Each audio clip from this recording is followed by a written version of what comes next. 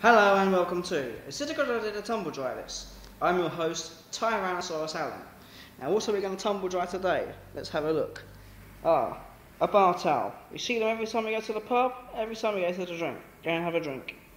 So, is it a good idea to tumble dry this? Let's have a look. Wow, what on earth have we been doing here? Looks like someone's been having some fun in here. Wow, nuked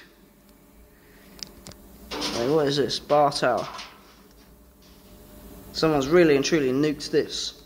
So, really and truly, is it a good idea to tumble dry a bar towel? Well, certainly not if you leave it in there too long. And most definitely, if it's not if you nuke it too flaming high. Now, seriously, when we are tumble drying anything, please remember Get glitter. Take care. Put it on the correct temperature. And don't nuke it. So I am Tyrannosaurus Alan, and you've been watching Is It a Good Idea to Tumble Dry This?